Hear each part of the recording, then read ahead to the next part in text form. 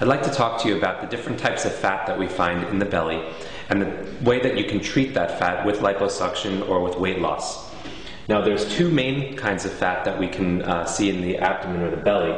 There's the fat that's underneath the skin. We call that subcutaneous fat. And that fat is the fat that you can grab with your hands. It's the fat that's in front of the muscle. Now, there's something else called visceral fat. That's the fat that's underneath the abdominal muscle. So if you feel your stomach wall, you'll feel something firm. That's your stomach muscle. There's fat underneath that that's around your organs, and we call that visceral fat. Now, when the visceral fat uh, has collected over time when, it, when someone's overweight. It creates a roundness, and that fat, internal fat, puts someone at risk for heart disease. So it's in our best interest to have a low amount of visceral fat. Now, what can we do about th- these two different fats?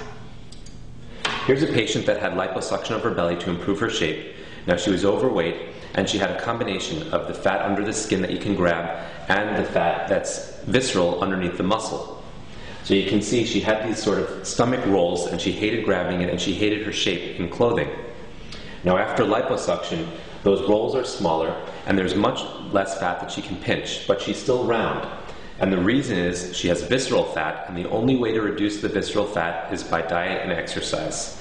So as she continues to lose weight, her shape will look better, but that visceral fat cannot be treated with liposuction.